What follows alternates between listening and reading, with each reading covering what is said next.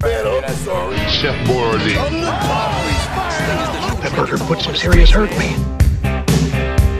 The video games seem flaming. Facing on level, but I take you every time. Welcome to Wise Eats. I'm Wes Daddy. Today, we're changing the chocolate game with the Wise Eats Coco Cups. First, we're starting off with two thirds of a cup of melted coconut oil, What you gonna do? two thirds of a cup of cacao powder. Cacao powder is a weight loss powerhouse. A cow!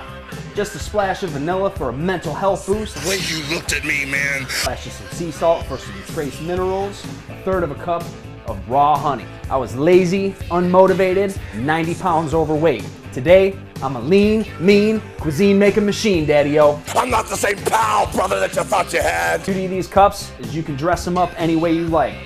Today, we're rolling with some cashew butter. Do one good heaping spoonful in each of the baking cups. In this kitchen, we don't eat Cheetos. We make choices.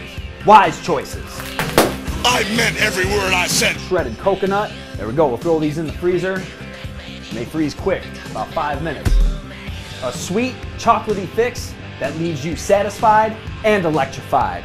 Next time you're in the kitchen, Wes, clean your shit up. make a wise decision.